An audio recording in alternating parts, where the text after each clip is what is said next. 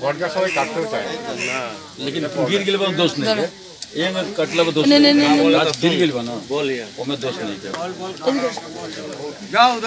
এর আহ, নেত্রী মমতা ব্যানার্জি উনফান ঝড়ের যারা ক্ষতিগ্রস্ত হয়েছিল যারা ভীষণভাবে ক্ষতিগ্রস্ত হয়েছে তাদের কুড়ি হাজার টাকা করে সরাসরি ব্যাংক অ্যাকাউন্টে আহ, চলে এসছে তাই আমরা এখানে সার্ভে করতে বেরিয়েছিলাম আর কি নেত্রী আহ, মমতা ব্যানার্জি সব আমাদের দলীয় নে- যত নেতা আছে বা দলীয় যারা কর্মী আছে, সবাই আমরা জায়গায় জায়গায় রাস্তায় নেমে পড়েছিলাম। রাস্তায় মেরে, নেমে আমরা গরিব মানুষের যাদের ঘর বাড়ি ভেঙেছিল, তাদের একটা ওনাদের বলি আবেদন করতে, যেখানে মিউনিসিপ্যালিটি এরিয়া সেখানে মিউনিসিপ্যালিটিতে করেছে, যেখানে পঞ্চায়েত এরিয়া পঞ্চায়েত করেছে।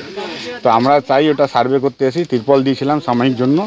এখন সরাসরি ইনাদের ব্যাংক অ্যাকাউন্টে সরকারি যে আমাদের পশ্চিমবাংলা সরকারের যে ক্ষতিগ্রস্ত মানুষদের কুড়ি হাজার অ্যাকাউন্টে পৌঁছে সেটা জিজ্ঞাসা করতে এসেছিলাম ওনারা বলছে হ্যাঁ আমাদের অ্যাকাউন্টে চলে এসেছে। কতজন পেয়েছে?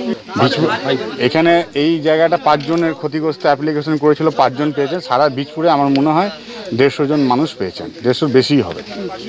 দেখুন সাংসদ এক বছর হয়ে গেছে শুধু বীজপুরেও নয় সারা ব্যারাকপুর জেলাতে শুধু ওনার কাজ হচ্ছে মানে দাঙ্গা করা মানুষের মধ্যে ভেদাভেদ করা এইসব ওনার কাজ। মানুষকে উনি প্রতিশ্রুতি দিয়েছেন প্রত্যেকটা ক্ষতিগ্রস্ত মানুষকে উনি এক লক্ষ টাকা করে দেবেন। আপনি কোথাও থেকে খুঁজে দেখিয়ে দিন কোনো মানুষের সঙ্গে কথা বলুন এক টাকা উনি দিয়েছেন কিনা।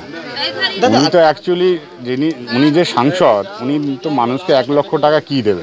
উনি চা- পারলে পারলে কোথায় তোলাবাজি হবে কোথা থেকে টাকা ওনার কালেকশন হবে উনি ওই নিয়ে সারা ব্যাগ ব্যারাকপুরে ঘুরে বেড়াচ্ছেন আর গুন্ডামি করে বেড়াচ্ছেন।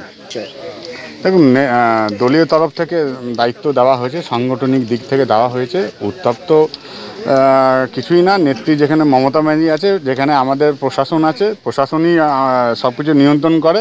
আমরা দলীয়ভাবে সাংগঠনিক কাজ করছি, কিন্তু ভাটপাড়া যত উত্তপ্ত হয়েছে, সেটা রাজ্য সরকারের প্রশাসন সেটাকে কন্ট্রোল করেছে, আমরা নয়।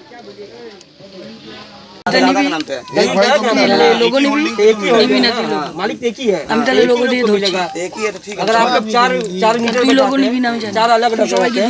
भी को मिलता इनिशियल दिया गया कोई सरकार अभी तक दिया नहीं। भागा भागा